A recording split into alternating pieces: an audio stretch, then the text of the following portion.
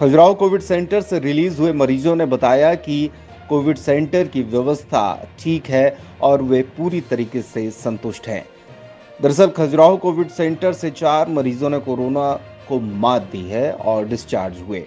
लोगों ने कहा कि यहाँ से जाने के बाद वे सभी को समझाइश देंगे कि जो होम क्वारंटाइन होकर के घर में बीमारियाँ फैलाते हैं, बेहतर होगा कि कोविड सेंटर में भर्ती हों। यहाँ किसी तरह की कोई समस्या नहीं है।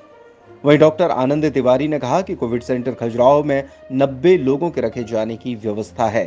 साथ ही उन्होंने कहा कि यहाँ आने वाले मरीजों की पूरी सुरक्षा और उनके खाने पीने का ध्यान दिया जाता है। कोविड सेंटर में डॉक्टर आनंद तिवारी के अलावा कविता सिंह बुंदेला और मिसेज डॉक्टर तिवारी भी आने वाले सभी कोविड पेशेंट की देखभाल करते हैं। बहुत से लोग इस समय पॉजिटिव एक दूसरे के संपर्क में आने से हो रहे हैं। उसके लिए कोविड सेंटर बनाए गए हैं।